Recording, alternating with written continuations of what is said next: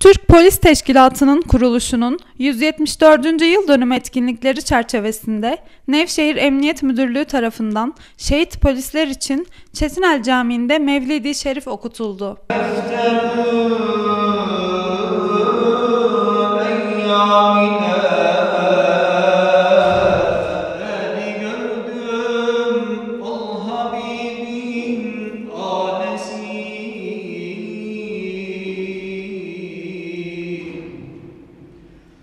Bir acep nur kim güneş pervanesi